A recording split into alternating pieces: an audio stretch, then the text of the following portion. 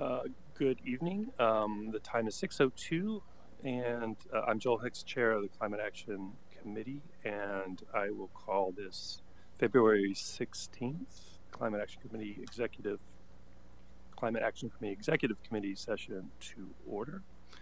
Um,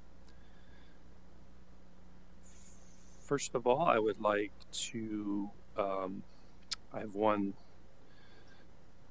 regular action item uh, for, I move that the Executive Committee review and approve the November 17th, 2022 minutes. Is there a second? Seconded by Tamala Tressel. I, um, any comments? Hearing none. Um, all those in favor say aye. Aye. All those opposed? The ayes have it. And the November 17th, 2022 minutes are approved. Um, and now just, uh, I think we may have some folks perhaps on Zoom. There was nobody in Borough Hall, but I'd like to open it up for public comment.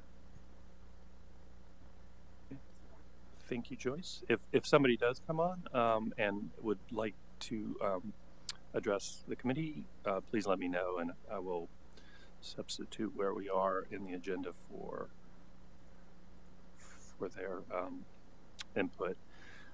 Um, so I want to just dedicate most of uh, this evening to several uh, items from have been worked on by different um, team leads. We, we have some um, really good good topics to bring up for consideration for council approval tonight. Uh, but before I do that, um, I, I, did want to op open up uh, a discussion um, that has stimulated from some conversations I've had with staff and with the mayor.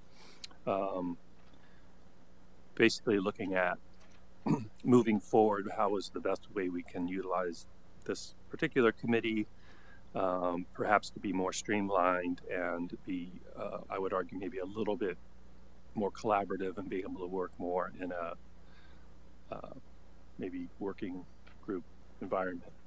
Um, I will just say, sort of back back when the committee was first formulated, after it was a recommendation, right, from the climate action plan that was approved by council. Um, in January 2021, January 2021, um, that when the committee was formed, that we had multiple teams working across lots of different sort of demand and supply side aspects of mitigation. Um, I think the thinking was that we may have a little bit more public input, recurring public comment, and um, that's one of the things that sort of in, informed how we functioned up to this point. Is you know these are every meeting every month is a public meeting, um, and uh, we we really don't um, deliberate as a com- as a committee, as an executive committee, as, as sort of a um, working group, working level committee. Um, and, a, and a lot of the teams here um, a lot of the team leads are working at different levels with um, their groups, uh, but I'd say that's that's working at, at different um, uh, levels of involvement, which is kind of a long way to say. I think moving forward, there was some interest between me and the mayor to focus more on individual projects regardless of whether they were in the energy efficiency, transportation, or decarbonization area. Um, we've, we've never had anybody vol, uh, volunteer to head the decarbonization task force, which you know, just may be an indication that we may be better utilizing our time to kind of focus on one or two projects um, that we think are priorities, sort of regardless of, of which which team that's on. So um, I'd like to get just kind of open it up to uh, members here. Um, my thinking was we, we basically keep, we'd keep the same membership. We'd essentially dissolve the team structure um, in, in terms of um, uh, of, of, of just reporting um, the status of what the teams are working on and decide internally where we want to sort of um, focus on a monthly basis on individual projects. Um, for the teams that, that have volunteers who are supporting them, I, I encourage you to continue to work for those teams. I think we can very much leverage uh, the, the work that you bring here. Um, but I think we, we can be more effective as a committee, uh, having a little bit more dialogue during our monthly sessions. Um, so, uh, for, for instance, David, I, I you know, and um, Mitch, you know, you're you're meeting fairly regularly with your teams, and and I would encourage you to to do so. But I also um, would would like you to feel comfortable to sort of use this body to help you think through things um, if if you find that useful, um, and if not, that's fine. I'm not offended. I think we there are some other projects we really need to start making some headway on, um, and a lot of that's driven by some of the new legislation that's being written. Um, I, I think particularly, I think uh, address figuring out how we're going to address some of the initiatives that are focused on low income, uh, low and medium income households, particularly in the energy efficiency area. There's just um, uh, a whole tsunami of things coming down the pike that we need to be either working with our municipal and county partners or, or really um, uh, focusing the attention of um, what we may need our um, partners who are, who are contracting with staff to help us you know obtain grants and, and devise programs that are going to be helpful um, in, in that area. So um, I think it'll allow us to be more agile. We, I would propose we meet um, at the same time every month. I think the de- what I would suggest is that we default to it not being a public meeting until um, until such time as like tonight we, we we are deliberating a memo that we're, we're going to put forward to council um, and I think it would be appropriate during those months that that we may potentially be voting on a on a recommendation like like I believe we are tonight um, that we would meet um, not not in a public forum and, and probably in a different different room. So I would like to to get everyone's thoughts about that. Um. Is that a, a better plan? Uh, could, could we should we consider maybe doing things a little differently than that? Yeah, go ahead, David. Joel, do you mean um, that we continue to meet once a month on third Thursdays? and but it's not a public meeting when there's nothing to enact, and we instead talk about what we're doing and that sort of thing. You got it. Yeah, I like that idea. Much more elegantly concisely than I. Uh, that, that's my intent. Um, just curious if, if I, I, think that makes a lot of sense. Okay. Good. Thanks, Mitch everybody seems generally favorable. I, I, I think that's going to be better. And, and again, I, I um,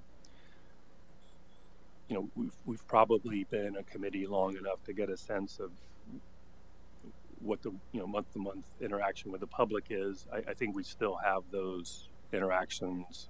You know, pe- people seem um, to, to be able to, you know, work, email, you know, there are other forums besides a public meeting that we receive information. So I'm not too worried if we sort of went into that sort of format that we, we would be in danger of not, not getting public comment. So yeah, go ahead, Mitch. I, I, do think it would be helpful if there was a sort of regularity to um, times we meet in public, um, so that you know, uh, you know, I don't think it has to be monthly, but um, uh, and we can discuss that you know later. But I think that would help kind of if people are interested in it um, in attending, and then it also sort of might kind of give us deadlines to get Mm. things done.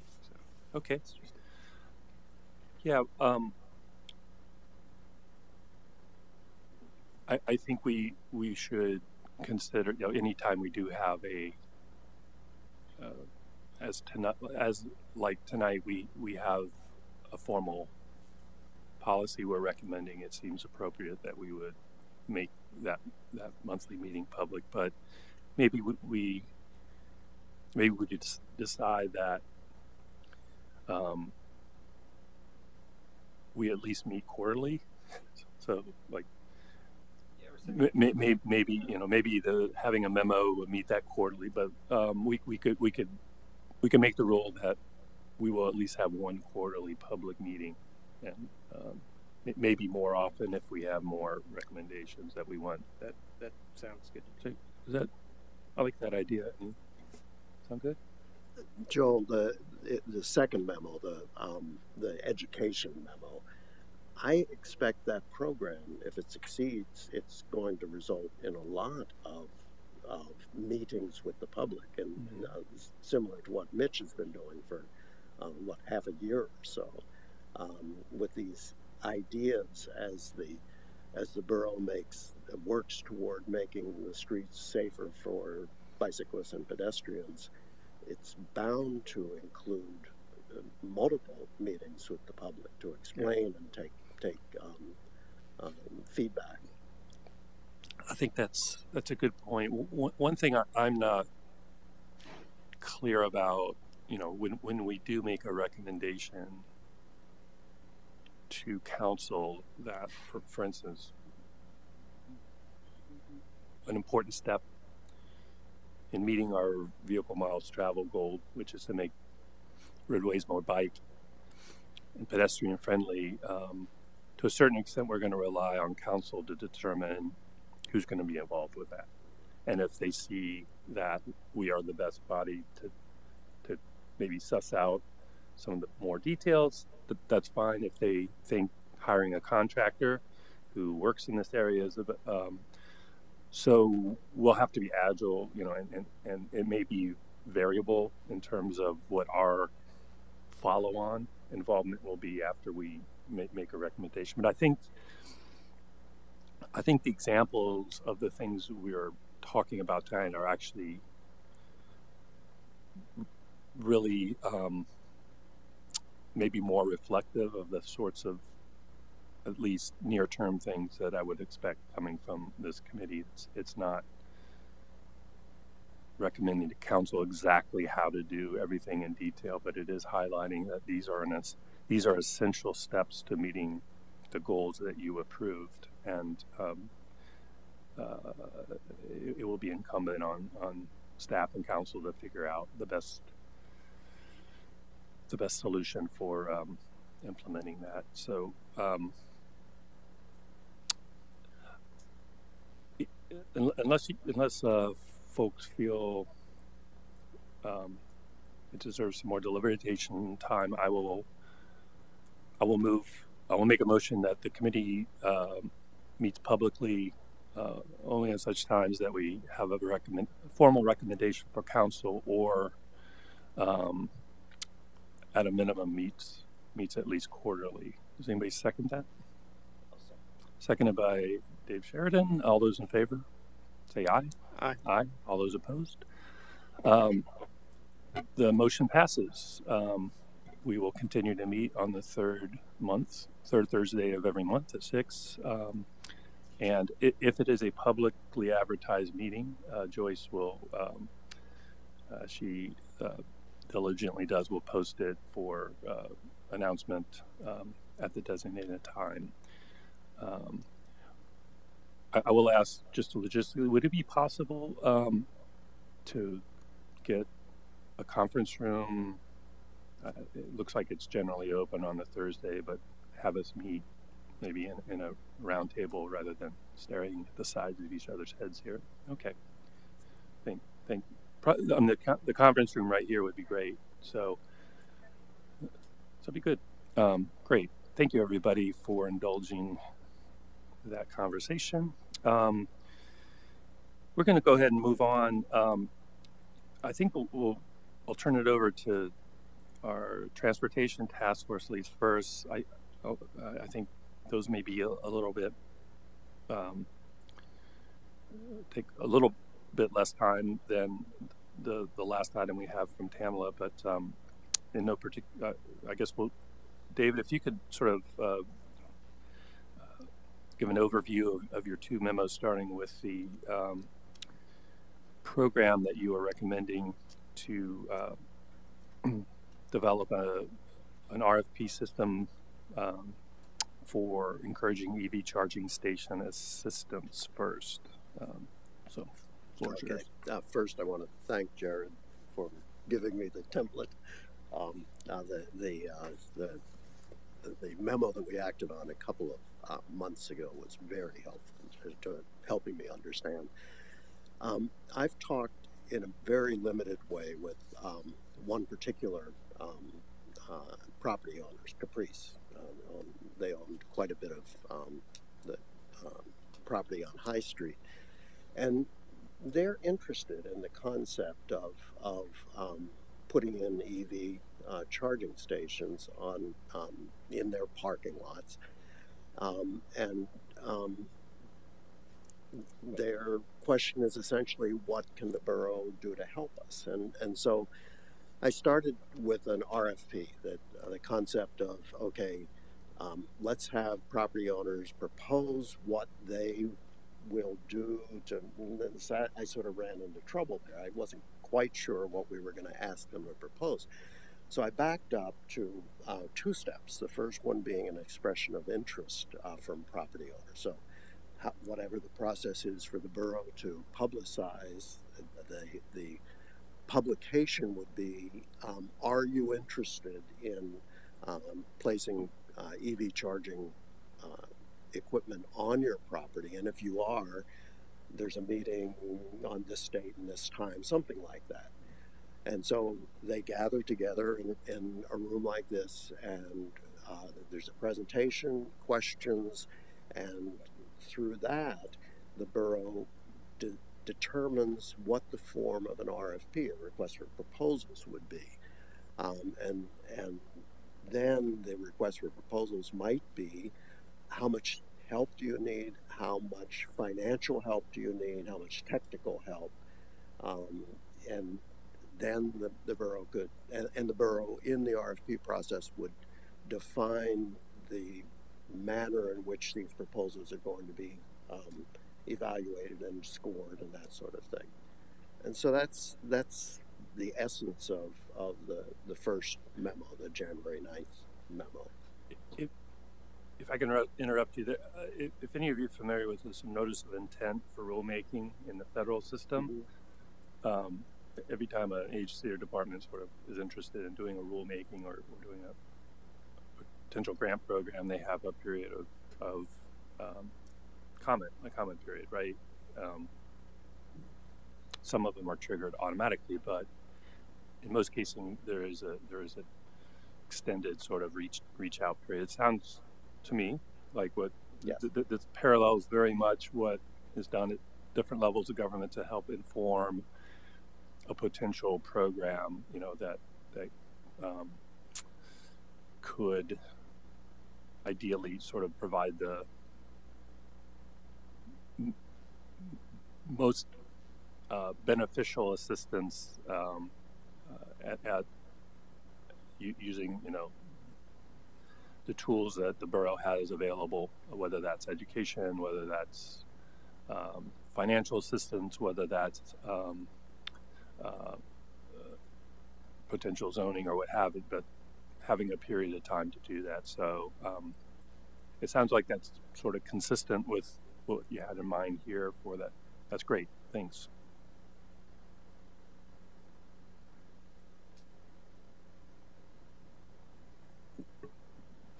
Did, did you have, um, well, were there any questions Oh, did you did you want to? I'm done. Did you did you did you have a period of time that you you thought might be appropriate. Um, if it was in there, I missed it. But that this period of sort of public comment for developing potential program of assistance would last. No, I, I think the borough probably has um, a good bit of experience in public works, certainly, and, and in finance to uh, to to say what that time frame would be. Uh, as the the recommendation is that the um, the borough manager have a relatively small group formed. Um, I, I can volunteer that the transportation task force, a transportation task force member could work with that group. Um, if the, um, if the borough manager decides that that's a good idea. Um, but then, um, how that evolves, I think, is probably pretty simple because the borough does it all the time for, um, requests for materials, requests for professional services, that sort of thing. Yeah. Um, Jared, uh, j- just be curious because I'm, I'm sure in either here in your capacity somewhere, you, you might have seen something like this at, at a local level. Um, any anything about this that makes you think like the um,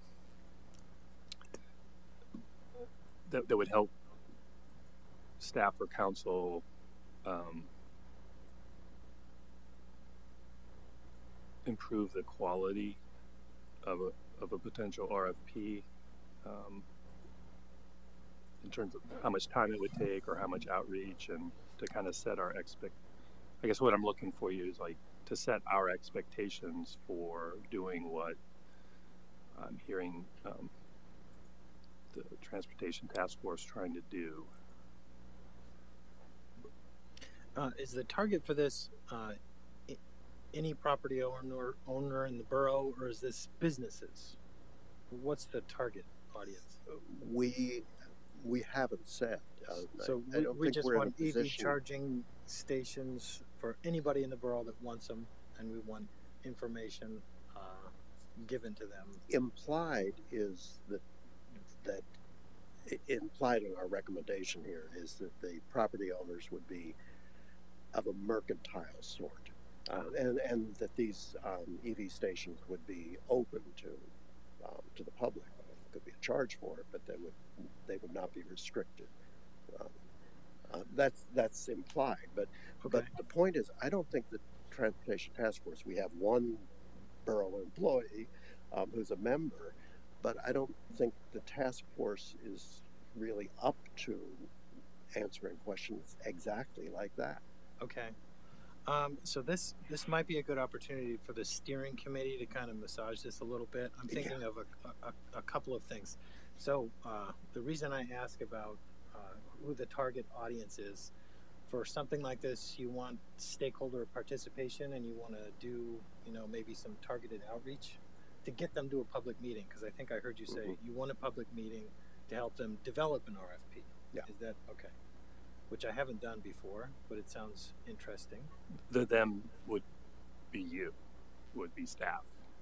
Them No, would the- be no. Or- That's or- not what I heard. oh, I heard oh. that you want local people Yeah. giving input on what would be in the RFP.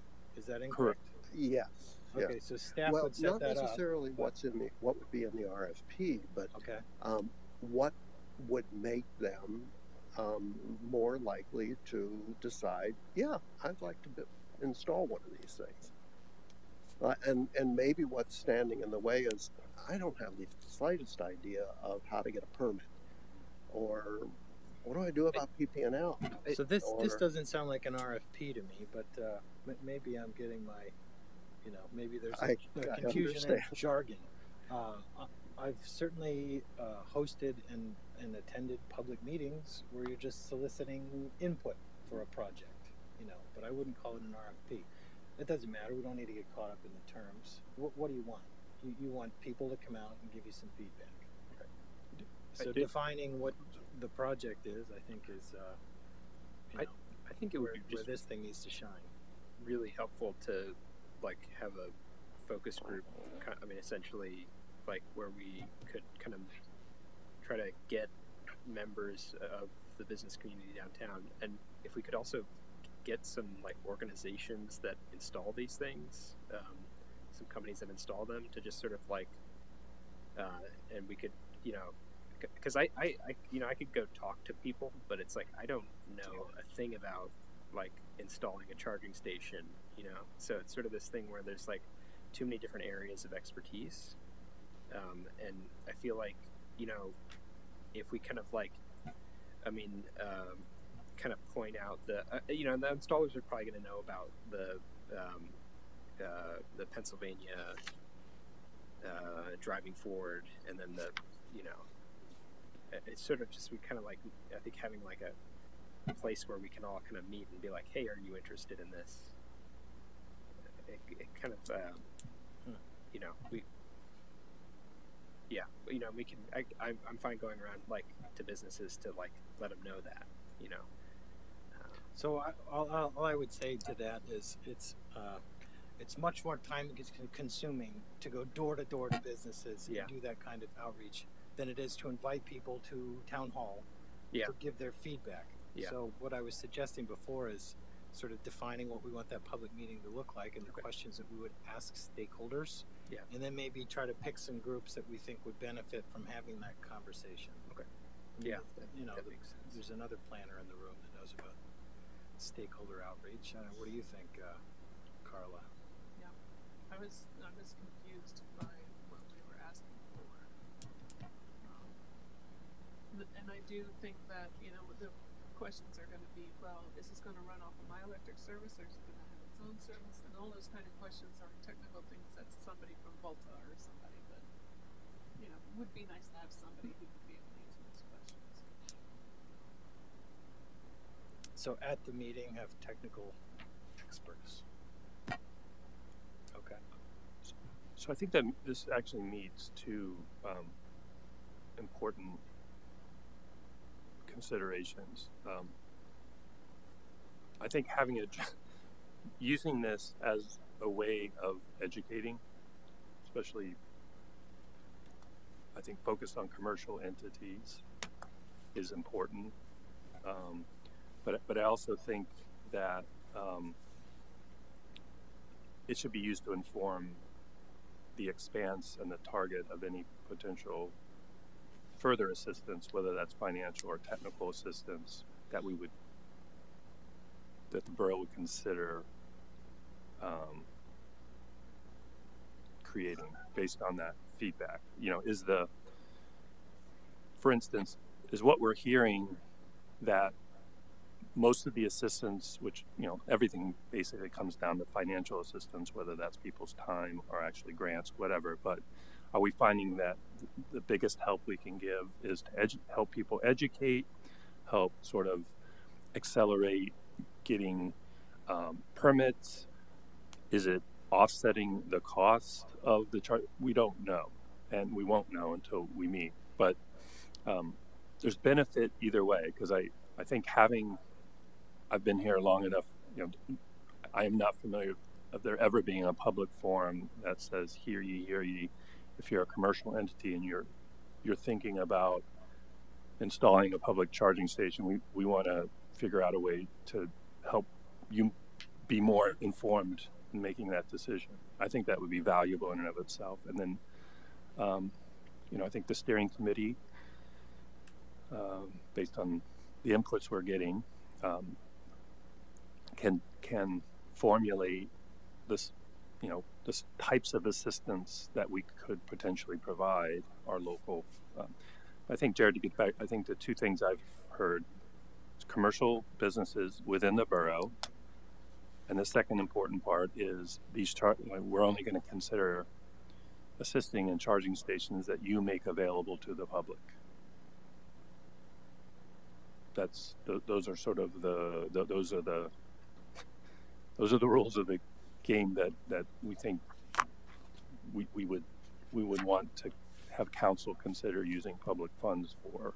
Um, uh, so, yeah, Um, under measures of impact, there's only one item. I wonder, um, I mean, if the hope is to gain more, you know, kind of knowledge, maybe some measure of impact would be, you know, in, in- information gathered at those public meetings, or maybe we host a public meeting, or um, something to that effect. Uh, they were Because this is, uh, you know, the success of the RFP is as measured as follows. We get additional locations. Uh, what I'm hearing is that we want more information. Not necessarily that we want them all over the place, but the first step is to find out what are the showstoppers, what's the level of interest in the community. Is that incorrect? yeah. I, I, I, I would, I would never be interested as a council member in approving um, funding for a program where the measures are not part of, like, it- would be conditional. If somebody was, in my mind, and I'm speaking only for myself, is anybody who's going to use public funds, uh, I would hope that we would make some sort of report back or some sort of measure of effectiveness a part of that assistance. Um, so I'm I'm hopeful that those measures of effectiveness will be precisely what we determine them to be as a condition of, of funding. That's that's that's why I did not get too worried about not having a, a list yet. Um, I, think that that would be an important learning experience. You know, uh, perhaps we we start out by a, a more kind of a pilot part portion of this where we're, we're learning uh, before we roll out something potentially maybe bigger. Um, that's I, I could see that as a possible scenario. This, this sounds very logical. It's, it's really beyond the capability of the Transportation Task Force to do that. Um, so if, if this can go to, and I think particularly the borough um, needs to take control of the suggestion and either move ahead with it or um, and, and shape it or decide that it's it doesn't have merit. So I, I think that's the function of the, so we haven't done this at all. Well, we started doing it with the municipal operations plan. Right. It's almost there. The, in, in my mind, this starts with the uh, recommendation, uh, which you've drafted, and then it goes to the steering committee. Okay. Then the steering committee would give you that kind of feedback. It's got policymakers and staff uh, that would then deliver um, their comments back to the climate action committee. So as a draft, it's fine. And I'm going to have another bite at the apple with the steering committee. I just wanted, for the purposes of this public meeting, to find out what, what you were really trying to get out of this. I, I wasn't trying to fix it tonight. Oh, it, um, I'm Not that, not that I, I, I don't mean to imply that sounds No, I'm just arrogant. saying I, I don't mean we're not need- up to needs it. fixing. Yeah. I'm just saying. okay. Yeah. So what is it? wh- What what were you trying to convey to the steering committee before this goes to council? That's all I was suggesting.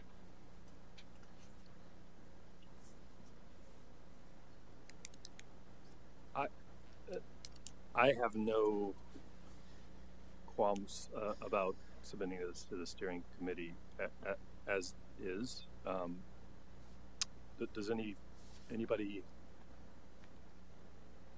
have anything substantially that they would have us consider adding or taking off of, of this? Okay. Um, I don't I don't know how the steering committee functions, but um, is it, it if it's reasonable, um, we the trans- transportation task force would welcome an invitation to ask us for clarification. Um, Okay. so- We've only met a handful of times. I think the idea is that once the cl- climate action committee is happy with your draft, that it just goes to the steering committee, and then we return with any kind of like comments like that. it, it could hypothetically it could be um, a combination of inputs that they want, including from members of you, but it could, I could also um, see where we might want to bring in some other um, uh, folks to sort of shape how how this goes forward and um, kind of see where our level also to just to see kind of where our level of, of expertise is because if we do decide to hold a public forum we we want it to be um, w- well organized and and um, yeah so um, I, I think what what this effectively does and this is kind of the first go round for the committee to make a like I, I think this does what one of the things I we've intended this committee to do is is to it, it's priming the steering committee for for some sort of action or response um, and and that could go multiple ways so um, and and so with that I um, I, I will move uh, that we uh, approve the memo uh, to be forwarded to the steering committee, um, climate action steering committee for their consideration. Is there a second? I'll second it. Seconded by Ms. Stiles. Um, any m- more further discussion? Uh, none heard. Uh, call the question. All those in favor say aye. Aye. All those opposed? Um, the memo is approved for forward to the Climate Action Steering Committee. Um, thank you, David. And you have one more uh, memo uh, you wanted to present to the committee? Um, Yes, the, the second memo is um, even more vague than the first, Jared. but and, and purposefully because um, the the second, um, first of all, as I've said for in quite a few meetings, and uh, as all of us uh, who ride bikes um, agree, uh, people are going to get on the, the street on a bicycle um, if they feel safe, and um, so this this recommendation is that the borough um, proceed with a process that that I've um, dubbed um, uh, educate, um, um, uh, uh, interact, and um, educate, engage, um, enact, and and enforce measures related to the borough's transportation infrastructure that would make the the infrastructure safer for both uh, bicyclists and pedestrians. And um, the I, I've had a, a, a little bit of conversation um, with the borough manager about this, and and she has stressed that this this has to be a borough process, not the transportation task force um, um, saying what it would like. The list that I've added here, to, and this is the list is uh, just a record of the um, uh, of the of the our meeting, um, and um, Joe, you can decide how to use that because I didn't want to put it in the um, recommendation. The recommendation is to to move ahead with a process that would begin by, let's say, um, first of all, educating the um, public, the, the yes, educating the public in terms of what a vehicle mile traveled is, what the borough's commitment is in uh, what the borough's um, uh, uh, objective is in the climate action committee, and how um, getting um, drivers, some drivers, to do short trips uh, on bicycle or, or um, by walking. But I think the aim is mostly bicycle to reduce those short trips that um, might be done in a car, but could be done on a bicycle if um, if the bicyclist feels safer. And then the next step might be, and so perhaps there's a uh, a, a short uh, uh, um, term of um, videos, postings on the on the borough's um, uh, social media sites and, and such that explains what a VMT is and and the borough is going to be working towards safer streets and there are um, quite a few um, uh, organizations and programs that um, the, the borough might cite in this um, this preamble. And then after that, I where the task force is envisioning that um, maybe the task force or maybe a, a, a, a group that is established by the borough would begin to say, um, okay, um, you know, what's what's the first thing that what's the first measure that the borough wants to tackle in the way of of improving the um, um, safety on the streets, and so maybe it's lowering the, te- the you know these 10 things. And and the 10 things are kind of they're they're from easiest to most difficult kind of. They're they we did brainstorming and and um, um, they're, they're probably um, half of them are pretty simple and then the other half are probably um, signi- um, increasingly difficult, like number 10, you know, taking the lane away and on, on the two ways, like, um, you know, that's a, that's a, it's a, uh, it's, it's a separate, um, separate document that Joel distributed. I actually don't know if everybody got that. It was on the. I, I, I did, Oh. documents I sent around. okay, okay, okay. I'm going to read them. Designate boroughs, signalize intersections at which sight distance constraints would require drivers to enter pedestrian. Well, that's not an That's- easy one. Consider reducing speed limit on borough streets to 20 miles an hour. Consider traffic calming measures in borough alleys. Enact Idaho stop for bicyclists. Number five, expand designated bicycle routes. Number six, install bicycle parking at various des- destination locations. Number seven, improve bicycle lane markings on Hanover and High Street.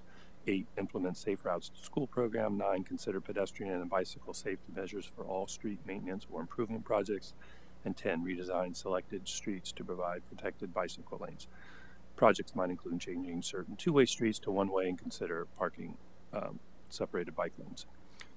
Um, I will make sure everybody has that list. Um, I'll, I'll just, I mean, is that list a sort of a consensus list Oh, oh, that you all went through? Okay, and, and, and We, we it's safe to say the, these were, um, you know, of all the recommendations we can make, the, these these were the top ten that we would encourage the borough to undertake to meet our VMT. we had 11 and we cut one out. The the the, the 11th was um, um, signing the alleys with um, uh, speed limits, and and then um, uh, Rick and Jeff both said, well, you know, the alleys, um, they, there's no nothing past the easement, so where do you Yeah. post the signs? Yeah. And that that is a difficult thing. So we we agreed on.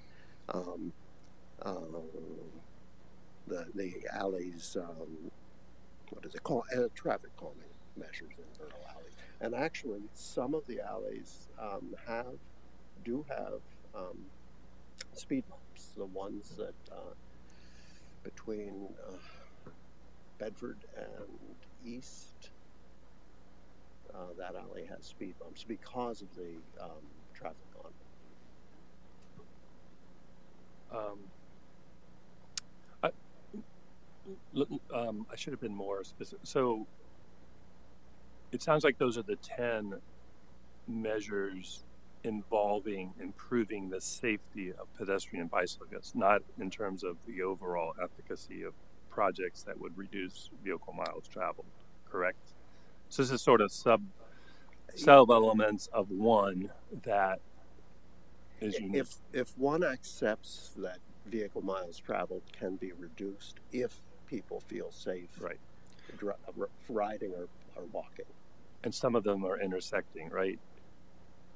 If you if you expand designated bicycle routes, people are going to feel safer, which means more people are going to ride. But it also promotes you you have more options um, to do short distant errands and and encourages people to do that not because of safety but because we have more accessible routes to to do errands so some of these i, I think intersect with safety with with other things i will say one of the you know the group that um, um, jared is starting to look um, at land, land use subcommittee um, probably um, is thinking about some of these already. My question for Jared would be, I mean, in terms of what the recommendation on this memo says, particularly at the continuing stages part, um, is that too broad um, at this point that that would the steering committee might not know what is being asked for? That's my only concern. Um, I mean, the, in, in the interest of keeping this moving, I, I would send it. You know, I, I've heard enough where I think I understand what's going on. I'd include that. Okay, to follow the continuing. Oh, off. yeah. But um, you know, my sense of things, and again, I, I get, I get to, I get to play with this a bunch of times. You know, with the steering committee, the climate action committee, and then when it advances to borough council, I'll be there for technical support. So I get to watch this, you know, through, through uh, as it uh, goes through the process. But you know, the problem definition. Um, if we could go back to the last statement you just made, David, I think you you pretty much laid it out. Uh, that your strategy for reducing vehicle miles traveled is to make it, you know, safer and more accessible for bicycles and pedestrians. So your problem definition, just to flip it, is that you know some places in the borough are inaccessible or unsafe for uh, cyclists and pedestrians. And then you just sort of uh, go go through this, you know, uh, with that idea that there's a problem, and we seek to address it, you know, uh, in in these ways. Um, those strategies that you read off in different contexts they might work in others they won't. Um, which is the need for a transportation plan You can keep that. which is just like this pretty huge undertaking but um, i mean again you got to start somewhere so advancing some recommendation to council is not a bad idea. Uh, at maybe three council meetings ago uh, council asked me about bike ped planning so there was some interest so again, if you tie it back to climate action plan, if that's the strategy that you want to take to reduce vehicle miles traveled by making this the, the borough more accessible and safer for bike ped use, then I think that's a fine place to start.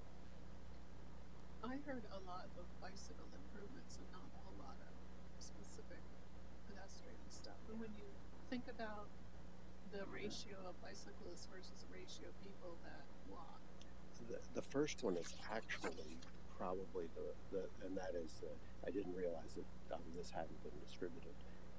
It really pisses me off when um, drivers pull into um, crosswalks in order to make a right turn on red. And there are many intersections in the borough that there's no sight distance, and the only way to make a safe t- right turn on red is to be in the in the crosswalk. And so that that is definitely a pedestrian issue. Um, I'm sorry that this didn't get distributed. But It's okay. even even you know as you walk down the street and the sidewalk is uneven, or you know there's a grate missing or Right. stuff like that. Yeah, yeah. You know that Yeah. I think is important, especially for older folks and people that maybe don't see very well.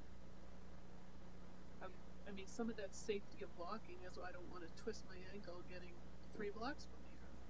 So I, I, I agree with that 100%, Carla. My, my, both my mother and my mother-in-law have balance issues, Right. and like, um, they find the sidewalks in Carlisle treacherous, and so it, I mean, I, I don't know how.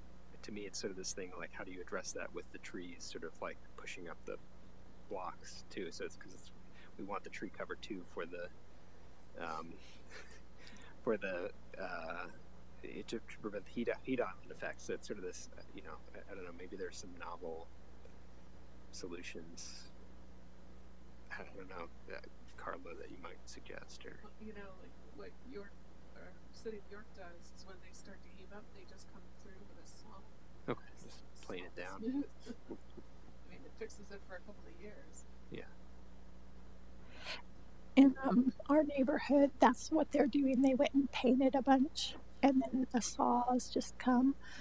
But one, they've missed a lot of areas, and two, they haven't sawed them enough to where it would, would be safe for someone with a walker or issues. And I do see a lot of people um, who are elderly actually walking in the street because the sidewalks aren't safe.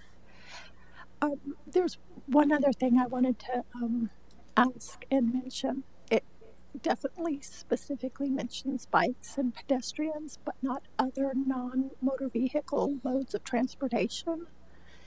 And um, I was just in Miami, in California, and I know even here in Carlisle, I see lots of other modes of transportation, whether it's a skateboard, roller skates, e bikes, e scooters, etc. So that's something to be looked at. I'm I'm really glad you brought that up because it, it's a great preamble to what I was going to. You know, I this is a good problem definition. I, I, I would encourage your team to continue to view additional VMT oriented problem definitions because for reasons Tamara just brought, like I, I could rattle off probably three or four other things. Um, you know, teleworking. You know, so there, there's there's a lot of other ways we can.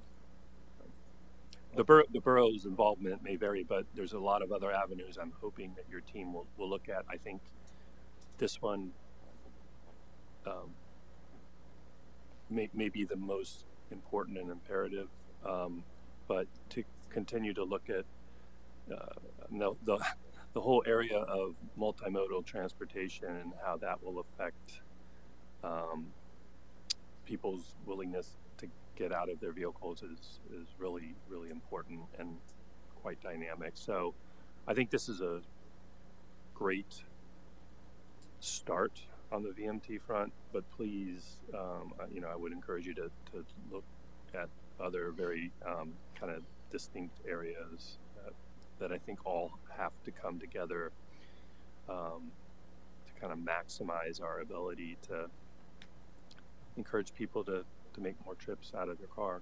I mean, that's that's that's the, what we're trying to do with this. And um, so, thank you for that, Tamil. I, that that was.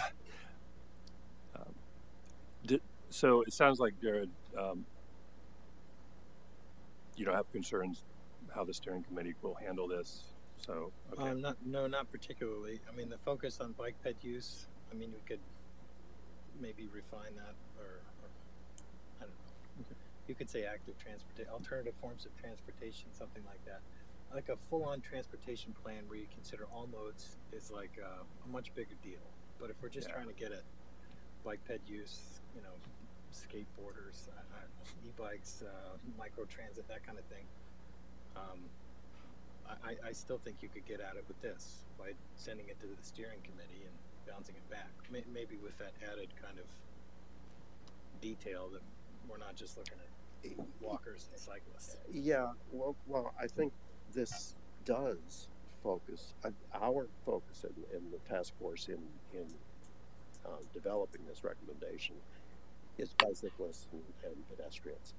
Um, other things that we've chatted about over the months have been jitney service and things like that, which is a VMT reduction um, um, circulator. Mhm. Mhm. Sorry. um, they- you know, um, better, um, better public transit. Um, but um, those those Th- are th- other. those seem like other things to, to focus on. Like even micro transit to me, you know, might need its own kind of planning process, uh, depending on how, how it gets uh, implemented. the, the way this is written, though, um, it's it's clear about what the near term priority is. It's educate and inform, like coming up with some sort of educate, engage, and act in force. And I think that is where it starts. I think that's where uh, the borough would agree. I think that's probably where council would agree. Is like we we uh, that needs to be kind of front and center before. So um, so it doesn't compel. It doesn't doesn't suggest it need, um, you know, that's a continuing stage uh, action. The near term thing that we're really saying is let's let's think about educating the problem first and, and thinking about how we um, Does the borough have um, like illuminated illuminated matrix signs at all? Like, do we have any of those? Like the kind of like you know road work signs like ahead or that are programmable?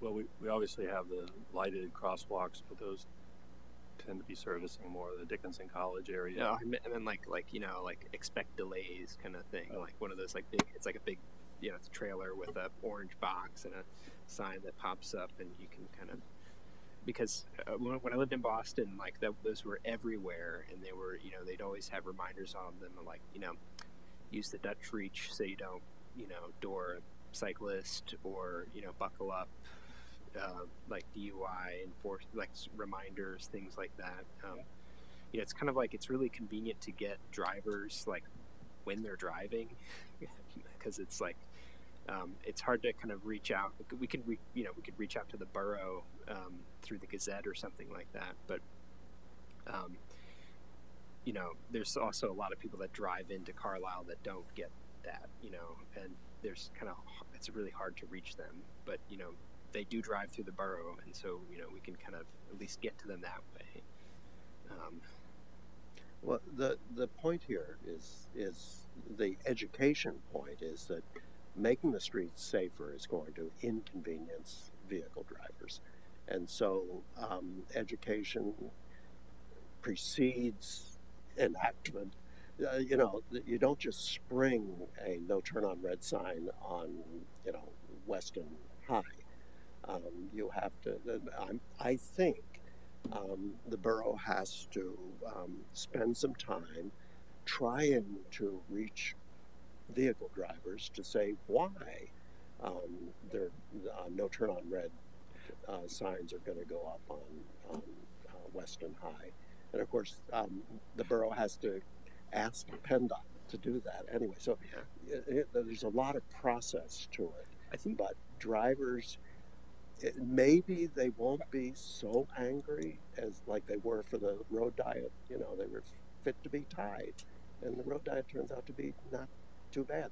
And so this this no turn on red it would perhaps the education process would include a video of children crossing the the um, or children being blocked by a car in the uh, crosswalk uh, that's that's out there trying to make a, a safe right turn on red, um, you know, something like that, and then maybe that will make drivers say, "Oh, okay, I understand that."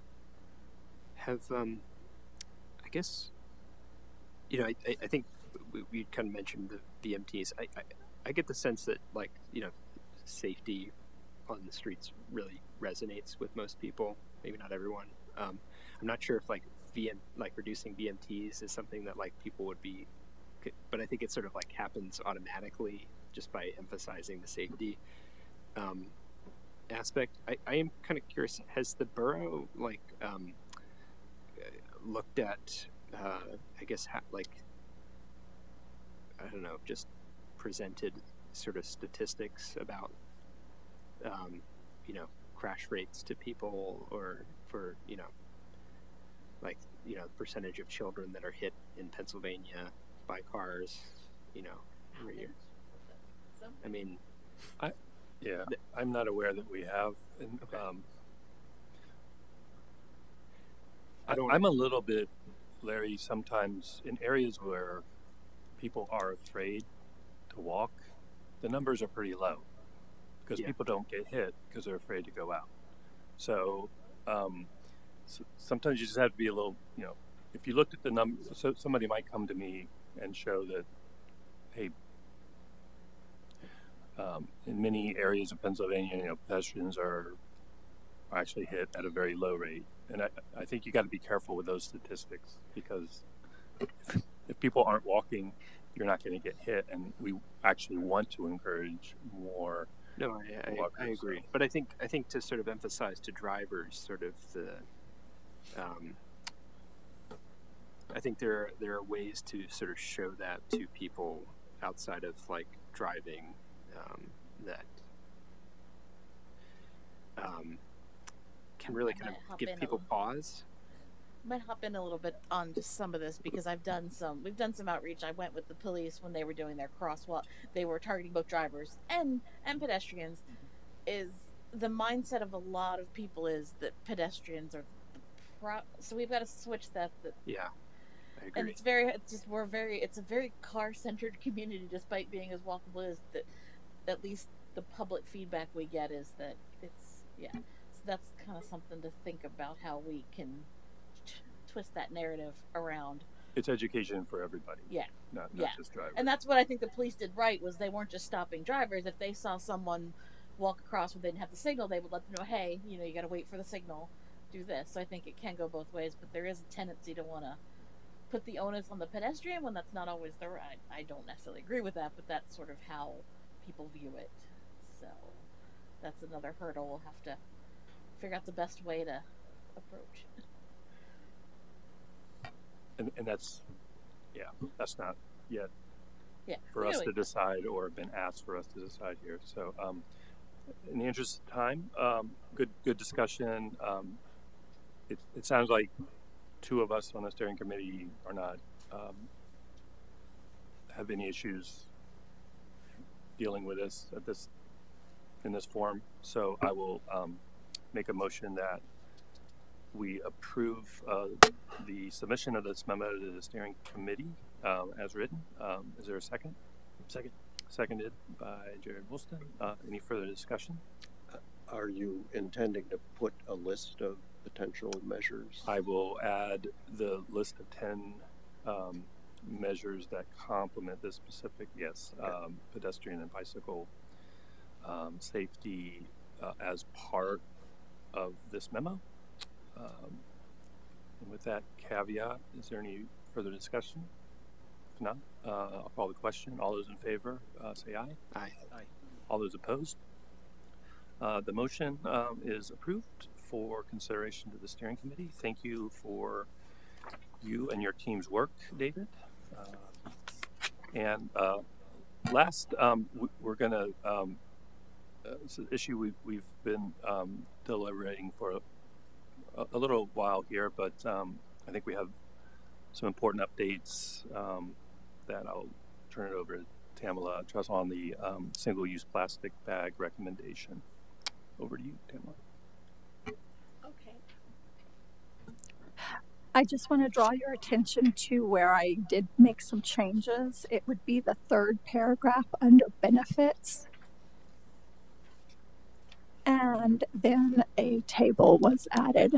So if you um, haven't had a chance to notice that, that's where changes were made on the summary from earlier.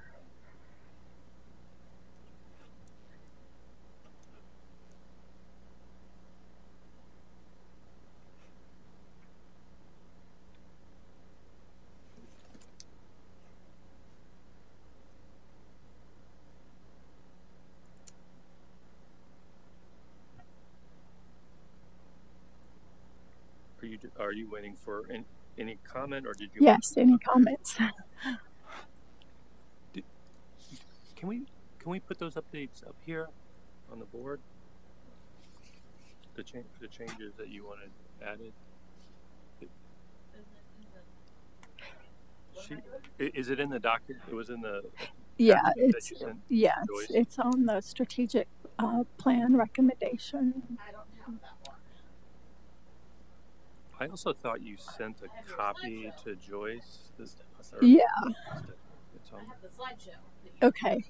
Okay, so yeah, I, I sent a copy to Joyce, and I thought everyone was CC'd on it. If you can throw it in that folder, Joyce, if you want to. Sure. I do you not need the PowerPoint? I do.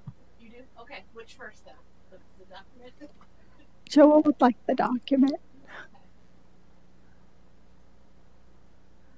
Although, since you have this up, we could just deal with this and then go, because actually this does relate to what changes I made. So that actually makes sense. Let's just go with the PowerPoint first. That way you. um, so it seems like consensus has been made that direct tie for decreasing um, greenhouse gas emissions with plastic bag reduction uh, ordinance is not going to be significant. Um, uh, if you looked at scope three things and like that, it would. So um, I just want to share with you these couple of slides to just let you know and let you feel comfortable, though, with the fact that even though it's hard for us as a Carlisle community to get quantitative data on that value, um, because you guys are Climate Action Commission addressing greenhouse gas emissions, um, I just wanted to help show you some information that would make you feel confident that there is a connection here. So, um, if you look at the pie graph to your left, the um, oil demand use is 14%, which is the second biggest slice of um, what oil is used for. And that is going to make plastic. Otherwise, you'll hear it labeled as petrochemical. Uh, so that's pretty significant, second to transportation. And then for gas, um, it's still pretty high in use, but because Pennsylvania is, um, I believe, the second state with the most frac wells, the um, plastic or petrochemicals um, are used, uh, the ethane gas, to make them. And so that's a good connection. You can go to the next slide. Um, this is just showing you how by uh, petrochemicals, these are some slides um, that I just went to a webinar yesterday, and I'm doing three presentations right now, so forgive me for this not being very fluid, but um, the petrochemical and plastic production will account for over a third of the oil demand by um, 20 that says 2020 and half by 2050 you can go and then this is showing you um, the final energy demand and direct CO2 emissions by sector. And as you can see, petrochemicals is by far the highest. Um, and then this is just showing you uh, the production kind of worldwide. And as I was mentioning before, the US is leading in ethane chemical production for the uh, production of plastic. And there are a few more other slides, um, but we have passed the planetary boundary for safety for what they call novel uh, entities, which is petrochemicals and a couple other the things that's related to plastics. And this is the 22 version of that other chart.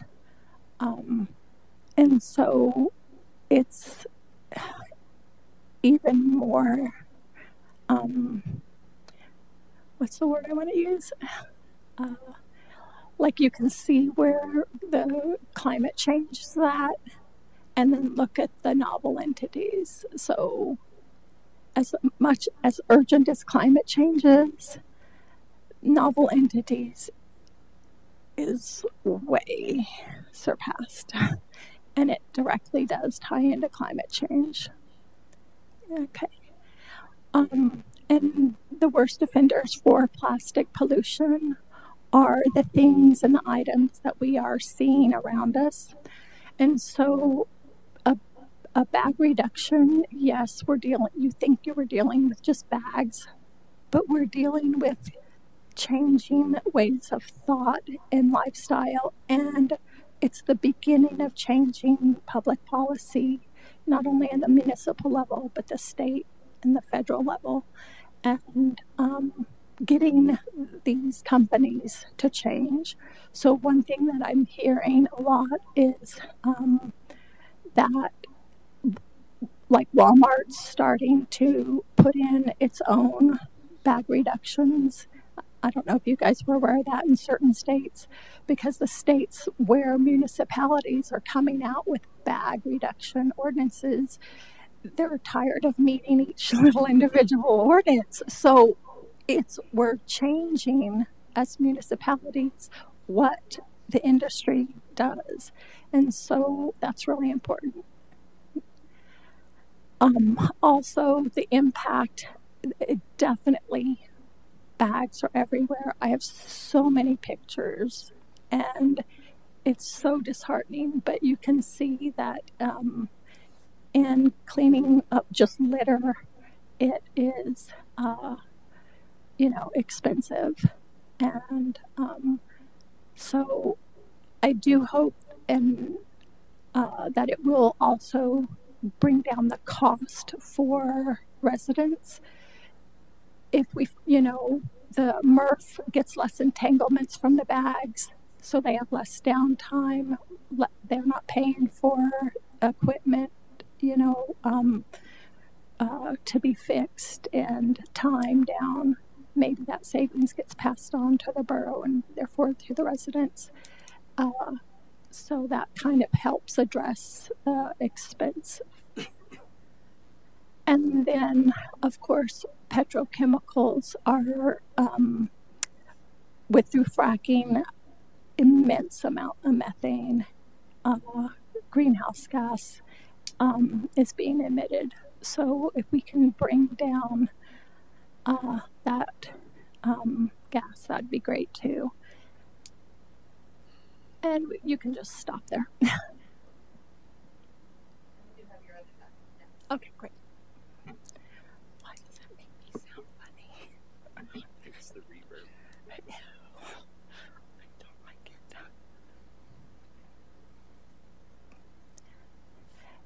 Yeah, so if you just want to go to benefits, um, hmm in the third paragraph. Yeah, keep going down. Yep, keep going. Yeah, there you go. Okay, so it starts with we will have less litter. And so um, I can't remember exactly for sure, but I believe I added the sentences. Hold on, I have to re get my eyes there. Um, where kind of in the middle of that paragraph about plastic waste will drastically impact our ocean's ability to uh, be a carbon sink. And so um, that's something that's uh, very important as well. Um, and then, yes, it is kind of an aside, um, but yeah. And then uh, plastics are shown to release greenhouse gases and ethane and methane as they decompose. That's important.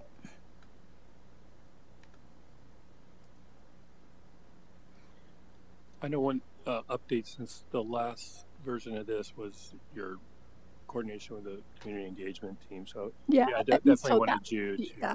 If you I think mo- for most of us Yep. who've um, been keeping score on this, this this is fairly familiar with us. I, Yep. I did want to spend some time to make sure to highlight that we, the chart, if you uh, want to just go to the end of the chart. is- yeah, that we could um, Yep. showcase that that of the criteria we approved a year ago in terms of what we would be considering in terms of recommendations that um, that process happened. So I'll turn that either to Mitch or you to describe. Uh, yeah, so um, Mitch came up with uh, these criteria um, for the community engagement, and uh, we worked to put like a value of um, importance and impact. And so that is basically what we came up with, and you can look at it and let me know what you think. Comments, Mitch? Yeah, I, I will just say that the thing that caught my eye that I think is the most um, significant to, for the count, you know, for council to be aware of is that you know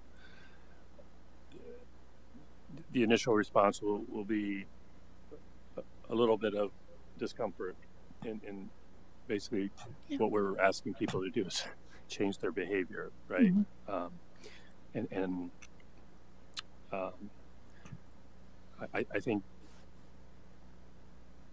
the recommendation we're ma- making is providing as much of a buffer against what will happen in terms of the timeline before it's enforced and you know, a Mhm. whole period of education, information. Um, but at the, at the end of the day, when, you know, ordinance gets written and deployed, you know, there, there will be some discomfort and, you know, that we have some measures in place um, to work with um, individuals. Um, uh, we, sh- we should have those thoughtfully um, considered. But um, I don't know, Mitch, did, did you want to add anything to this or?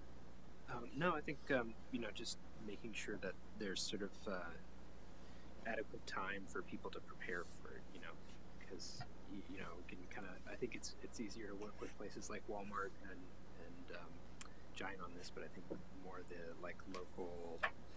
Um, uh, you know, smaller smaller businesses. I think is sort of like it's really critical that um, you know, they they have time to like and know this is coming well in advance. That's sort of the the big biggest thing, so that they have time to you know purchase. You know, I mean, they may be they may have a huge stock of plastic bags that they're like, you know, oh no, like what do- like they they need to like order paper bags. Um, uh, so. Um, yeah. So- Well, thank, yeah, thank I- you for, for going through that. I had made a suggestion that, you know, maybe the borough could get bags in bulk. There is a big difference when you're ordering above 5,000 and even 10,000. Like the price almost drops in half. And so for our local stores, it'd be easier for the borough to purchase and then they can purchase them off of us. Okay. Or, yeah. Um, again, we'll, we'll- potentially see if the steering committee or council wants um, us to go into those sort of secondary recommendations later, but um, there's a certain there's a certain cutoff of which you know a, a program needs to to move forward, and I think we've hit that. It is important for me to say a couple things. Is is one, I um, although I fully support moving this forward, um, I've always been a little bit hesitant in the sense that you know the main motivating factor factor for the formation of this committee is reducing greenhouse gas emissions, and this would not be in my top ten list of things that I would um, put forward as, as a as a form of mitigation. Um, having said that, I, I you know I can confidently say um, e- even though the way we do our consumption-based greenhouse gas inventory, these emissions are not captured. Uh, reducing the use of single-use plastics would reduce our scope three emissions um, if we were collecting them. So I, I, I do. That is fundamentally why I am comfortable forwarding this to to council. Now there is research to debate what um, the effect of how people re- reuse replacements, um, possibility of using mo- more heavily lined things where they were using the, the single-use plat. There's there's there's a bit of conflicting research about what the Mhm. net reductions are, but I will say unless we, we eliminate single-use plastics, we're, we're not going to meet our emission standards. So um, it may take us a little bit longer to figure out the best system of replacements to get people to use less greenhouse gas intensive bags for longer to have businesses minimize, um, you know, how, how they package things and those sorts of things. But, you know, there is a pathway where this is certainly a, a benefit in, you know, our global need to reduce emissions. Um, and, the last thing I really want to reiterate is on this isn't this isn't a ban on having single-use plastics. This is a Right. this is a recommendation to ban this the the resale of single-use plastics. Um, uh, so you know, it, you know people um, people are using single-use plastics. You know, in town that that is not. There's nothing wrong with it. We just don't want to be contributing new ones through the sale of products in our businesses. Um, and and this is one way we can reduce the total number circulating in, in town. So, um, any anybody have any? Uh, since, since you know this is this is a fairly significant proposal we're moving forward, but and, we have dedicated significant time already here. Uh, I think the main thing um, I had requested from Tamala was to make sure um, we had a confident endorsement from the community engagement team that based on their criteria they could support the recommendation we were making to council. So um, I think we have something I'm comfortable with and um,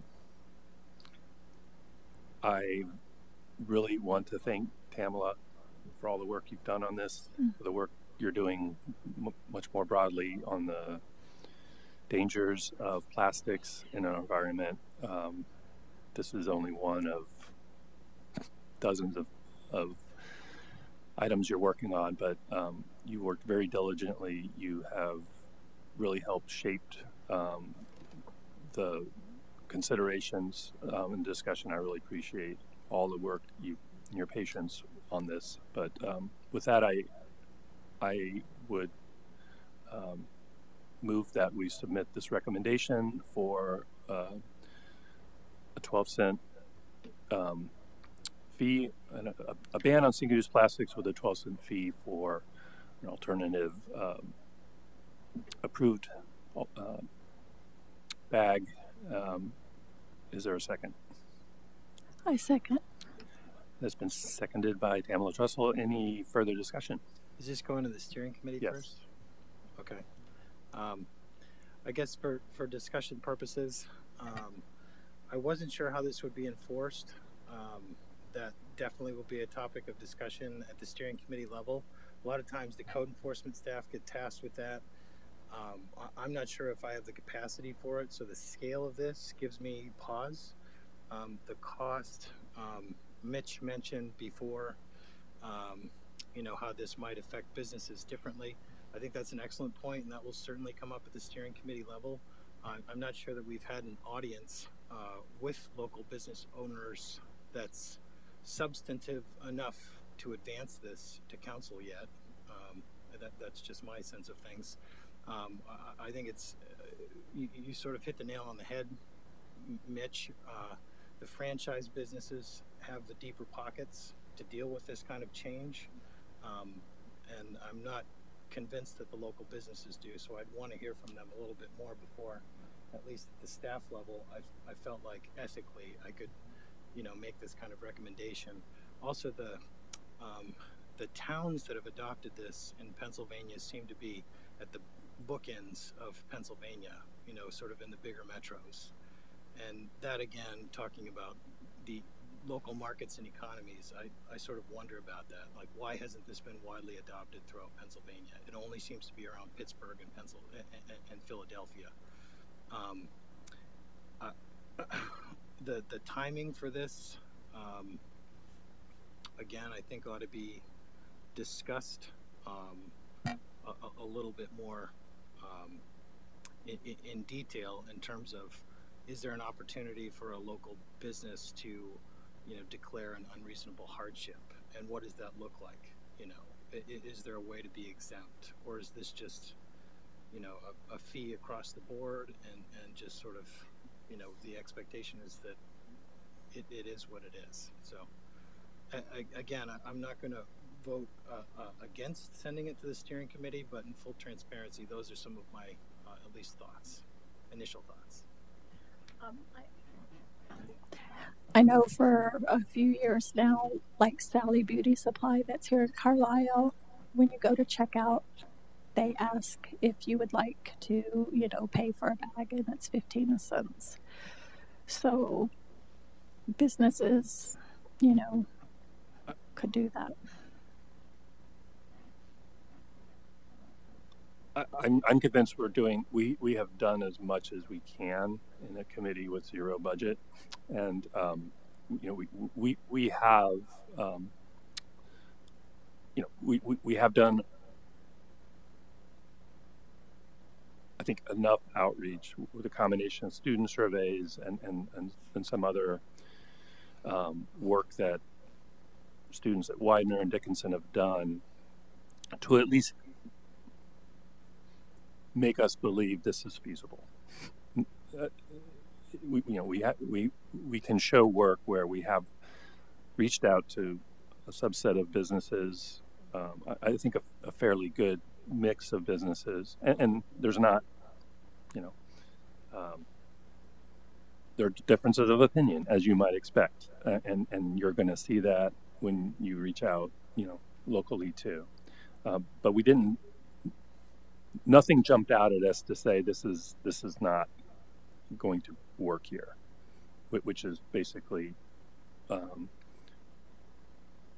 what what we were concerned about, and, and that hasn't happened yet. Now you might find in your deliberations that you found something out that we we didn't over the last two year, two plus years that we've kind of been using the works of our colleges and universities to, to make sure we're not going to get blindsided. Like we're not looking at something we should have. But yep, there's there's there's even in the data we have there you know there, there are differences of opinion. There are some businesses who think this is great. There's some businesses who have some real concerns. Um, but I think we're I'm at a point where um, there's no reason to believe that the uh, the program we would be best served by having a program like that. And and, and the, of all the alternatives out there, I, I I feel very very comfortable that the a ban plus a fee is as much research as is out there is the most effective way at the end of the day to reduce the number of bags circulating. Um, and um, I, that's why I'm, I'm comfortable. So we do have a Thank you, Jared. Um, we have a motion, uh, first and second. Any, any other discussion? Um, hearing none, I'll call the question. All those in favor of forwarding this to the steering committee, say aye. Aye. Aye. All those opposed? Um, the motion passes. Uh, we will forward this third and final um, uh, memo to the steering committee. Thank you again, Tamala, for your work on this. Um, and maybe in the interest of time, by exception, uh, since it is 7.30, I will uh, invite le- team leaders only at their discretion if, if they want to address anything uh, with the group. I have Mitch, yeah, go for it. I'd like to. Um, I'll kind of just skip the updates on what we're doing, but um,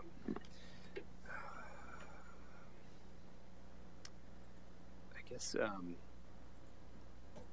we're we're just sort of at the moment we're using up our uh, grant money from CCLA, so we've been a little bit busy with that before we can move on to other things. Um, I guess um, one of the things I'm um, curious is ha- has there been any sort of like um, look at historical crashes in Carlisle um, with between pedestrians and cyclists and or and or comparison between Carlisle and other municipalities like has that occurred at all I'm looking at like crashes or uh, just curious know. Um, I, I know we have the crash data for Okay. bike peds, uh, but I don't know that we've compared it with other localities. Okay. Um, and then I guess um, uh, where was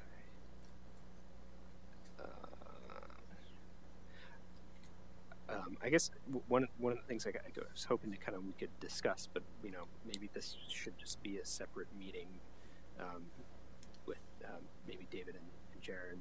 Um, is like thinking about uh, you had mentioned sort of a, tr- a broader transportation plan. Um, I know that like Harrisburg is implementing Vision Zero, along with several other larger municipalities around the state. And I, I guess I'm kind of curious. I think that like the marketing around that, like the like, or not necessarily. I don't want to say marketing. Marketing's not the right word, but the sort of um, kind of like pre-prepared information around that is, I think, really um, compelling and you know um, a good way to kind of get people on board with um, changes to uh, transportation infrastructure. And I, I guess I'm kind of curious, like, what if, you know, maybe we could have a discussion on like thoughts on that. Um, you know, what maybe like a lighter version of that would look like for the borough. I mean, I feel like it's a lot of the things we're trying to do kind of already fall into that realm. Um, yeah, um, I don't know if you have any quick thoughts or. Uh, Uh, I, I know about the Vision Zero program. Uh, you know, I, ITE is all over that. Um, it, what are ITEs? Or, it- it's it's a, You a have to. group of nerds interested in transportation engineering. But Okay. um, uh, um, and, and I say that affectionately because I, I think they're doing interesting things.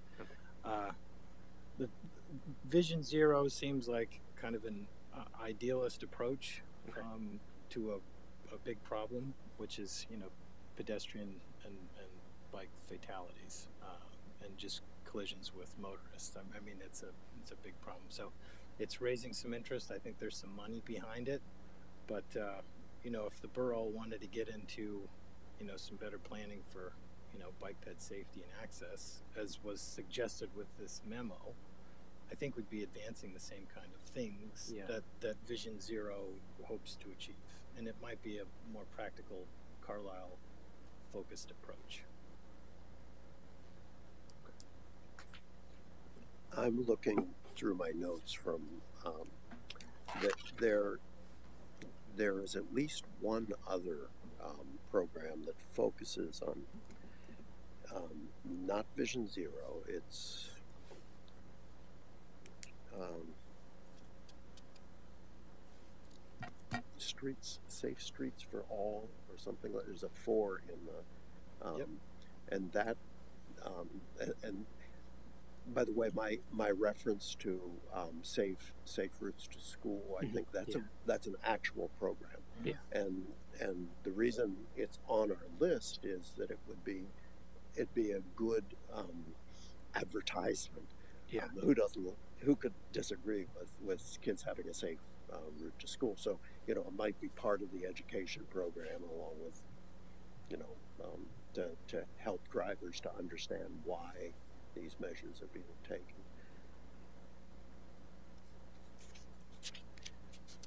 So is it is, is it um, more that it's just sort of like a massive undertaking? Is it sort of maybe? a, a transportation plan where you look Yeah. at all modes and Yeah. yeah that's humongous uh, you know just uh, at, at my last job just doing a bike ped plan took me almost two years you know because it was me and a couple interns Mhm. uh, so looking at all, all modes of transportation through the borough although it's five square miles and my last town was quite a bit bigger Yeah. I, th- I think it would be huge Yeah. not that it's not worth considering it's just a bigger pursuit Well, what is the program that um, the uh, Tri County, uh, the um, Hats. Metropolitan Planning Organization is doing that we're I, I think it's the hats program the hats h-a-t-s and and that focuses on basically on safe streets, right? Um, I, I can get you some information on it, sure. Yeah. Okay. We sent a letter rec- recommendation for that. For uh, Safe Streets for All, Yeah. yeah, that was kind of the money behind this, as far as I can tell, Vision Zero, uh, at least part of the money. I mean, the, Did, a lot did they get a response for their proposal? Did you know Um, what happened with that? I know they submitted it on time. I don't know if they got a response back. okay. Hmm.